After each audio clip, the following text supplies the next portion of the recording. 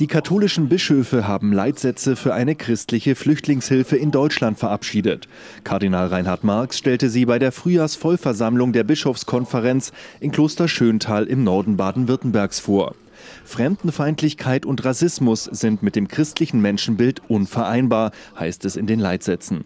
Und die Bischöfe rufen zur Solidarität mit denen auf, die Schutz bei uns suchen. Also der geistliche Ausgangspunkt, dass ich mich betreffen lasse von der Not. Dass ich äh, unruhig werde, wenn ich sehe, dass Menschen im Mittelmeer ertrinken. Mich lässt das nicht ruhen. Und dass, äh, dass in der Öffentlichkeit dann Themen diskutiert werden, äh, die völlig abwegig sind. Und, solange Menschen an unseren Grenzen so etwas erleben, aus welchen Gründen auch immer, müssen wir doch sagen, das kann doch nicht so bleiben. Oder wenn Menschen über Monate, Kinder über Monate hier sind, ohne dass sie Unterricht bekommen, ohne dass sie, dass sie spielen können. Äh, das sind einfach alles kleine, kleine, kleine Dinge. Und da können viele etwas tun und das tun viele.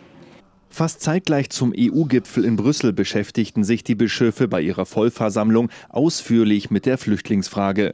Hochrangige Referenten diskutierten dabei mit den Oberhirten, darunter der bayerische Innenminister Joachim Herrmann.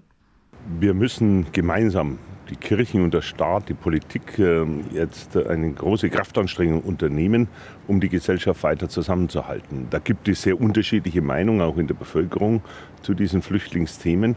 Und es ist wichtig, dass es keine Spaltung in der Gesellschaft gibt. Das ist eine Herausforderung.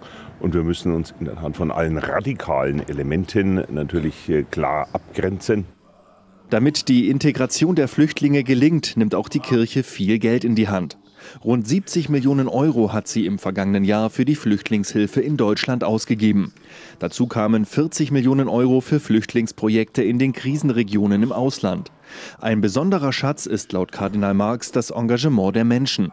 In der katholischen Flüchtlingshilfe sind mehr als 100.000 ehrenamtliche Helfer aktiv.